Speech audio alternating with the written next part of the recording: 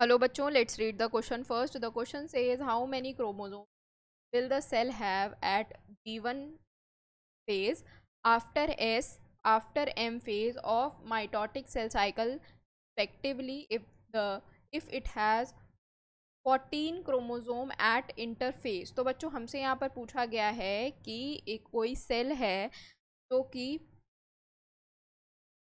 कोई सेल है जो कि सेल साइकिल का एस फ़ेज़ और एम फ़ेज़ पार करके आई है।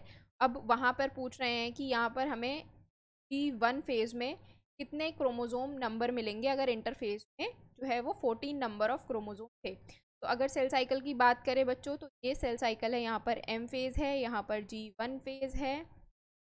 यहाँ पर क्या है? एस फ़ेज़ है और यहाँ पर आपका क्या है? जी टू जब हम बात कर रहे हैं माइटोटिक सेल साइकिल की तो यहाँ पर ही क्लियर हो गया कि जो क्रोमोजोम नंबर हैं, वो चेंज नहीं होंगे।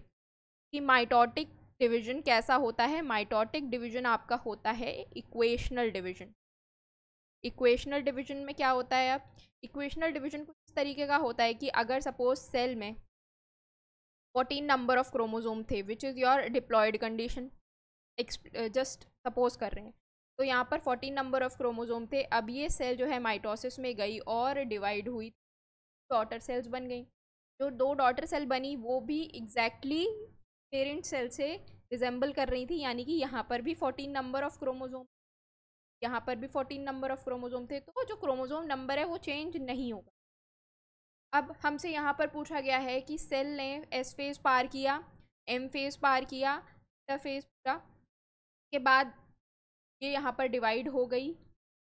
अब ये सेल जब दोबारा जीवन फ़ेज़ तो इसमें कितने नंबर ऑफ़ क्रोमोज़ोम होंगे? तो अगर कोई भी सेल है जो माइटोसिस में थी क्रोमोज़ोम नंबर चेंज नहीं होंगे पहली बात तो इसने दो डॉटर सेल बनाई तो वो दो डॉटर सेल बनी, उनमें भी तो फोर्टीन नंबर ऑफ़ क्रोमोज़ोम और मोस्टली कन्फ्यूज़न कहाँ पर होता है? मोस्टली कन्फ्यूज़न होता है एस फ़ेज़ में। एस फ़ेज़ में तो डीएनए रेप्लिकेशन हुआ, फिर भी नंबर क्यों नहीं बढ़ा? तो क्रोमोजोम रेप्लिकेशन हुआ है बच्चों, यहाँ पर क्रोमोजोम का क्रोमोजोम की क्वांटिटी बढ़ी है। यानी कि क्रोमोजोम अगर वन पीकोग्राम था वन पीकोग्राम था तो टू पीकोग्राम हो गया। बट अगर क्रोमोजोम नंबर फोर्टीन था तो क्रोमोजोम नंबर फोर्टीन ही रहेगा। ठीक है तो इस तरीके से हमारा जो करेक्ट आंसर हो जाएगा, वो हो जाएगा तो यहाँ पर फोर्टी वी वन एस और एम फ़ेज़ के बारे में पूछा गया है। तो सब जगह जो है बच्चों फोर्टीन फोर्टीन फोर्टीन ही हम किसकी बात कर रहे हैं? यहाँ पर माइटोटिक डिवीज़न की बात कर रहे हैं। माइटोटिक डिवीज़न की।